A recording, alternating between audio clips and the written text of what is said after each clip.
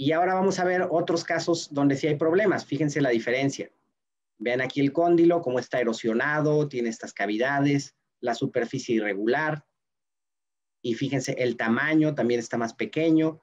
Tiene un osteofito, que es esta formación de huesos hacia la parte anterior. Y vean la distancia que hay aquí entre el hueso, entre el cóndilo y el hueso. Es mínima, ¿no?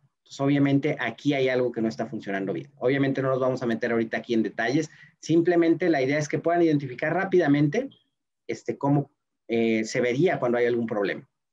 Y fíjense en este caso, ahorita que comentaban de la luxación, ¿no? No es un paciente como tal que esté luxado, pero fíjense que sí tiene un desplazamiento aumentado. Aquí tenemos la eminencia articular y el cóndilo, miren hasta dónde está. Está mucho más hacia adelante. Esto casi siempre pasa en pacientes con hiperlaxitud ligamentosa, ¿verdad? Todos sus ligamentos son más elásticos de lo normal, entonces pues se puede desplazar más la articulación. Ahora, como tienen este desplazamiento aumentado, sí puede pasar que el paciente se luxe, ¿verdad? Y, eso sí puede generar un problema este, en la articulación a la larga. Entonces, sí es importante que el paciente tenga cuidado y que trate de no abrir tanto la boca para no tener este tipo de complicaciones.